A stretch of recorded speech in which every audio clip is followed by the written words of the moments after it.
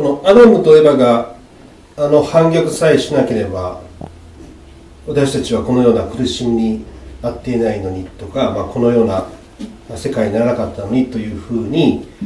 このアダムとエバこの2人に対してこう悪い評価のみで捉える傾向というのが、まあ、あると思うんですけれど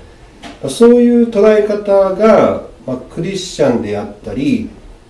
まあ、キリスト信仰にとって、どのような影響を与えてきたというふうにあの感じられますでしょうか？まあ最初の最初の先祖が主に背いてしまったから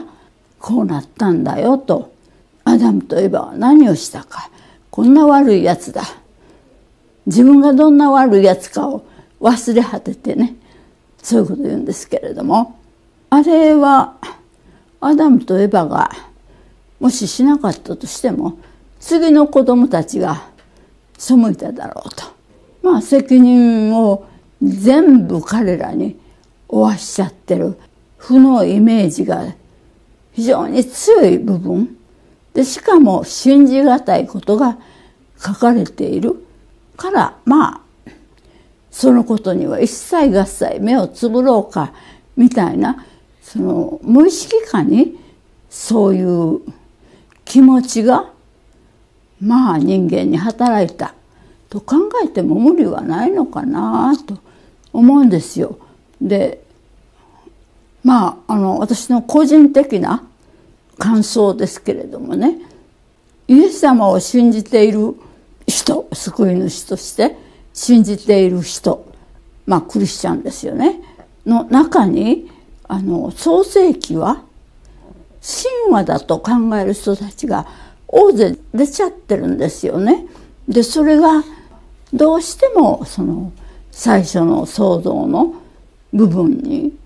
まあマイナスのイメージを人間が持っちゃってる6日間で世界作れるわけがないとかあんな摩訶不思議が起こるわけがないとかでも聖書の中に摩訶不思議はいっぱいあるんですよ。創世記だけではない。で皆さん大好きな新約聖書不思議がいっぱいでしょ。イエス様が神様が地上においでになった。で十字架にかかって死なれて天にお戻りになった。不思議でなくてどう言うんですかしかもそのイエス様を信じる信仰だけで私たちは死後神の国に凱旋することができる。とまあクリスチャンは信じているんだけどそんな摩訶不思議。なんで信じるの？と。そういうことを信じていながら創世記を信じる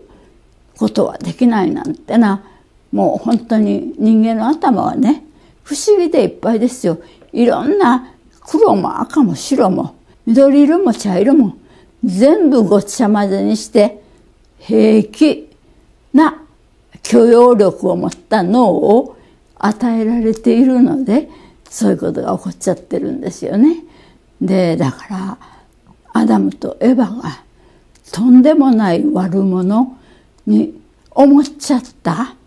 でそれがもう本当にあの順番に述べ伝えられていつの間にかもう悪の塊みたいになっちゃってるんですよね。だから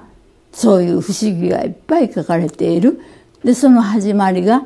あの大悪人の二人だ。じゃあこれも消しちゃおうかみたいな、うん、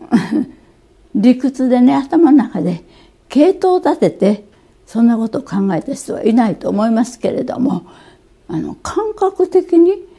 なんかそういう初めの初めのことですからねそれだけはちょっと排除したいという思いがこの大悪人の人間の心に芽生えたということだろうと思います。なんでいつの間にか創世記特に創造のところを否定するようなおぞましい思想が鶴を伸ばして世の中を覆ったのか残念ですねでも創世記を否定したら私たち天の国に行けないんですよ。ということがなんでわからないのかなとまあ私は不思議に思いますけど。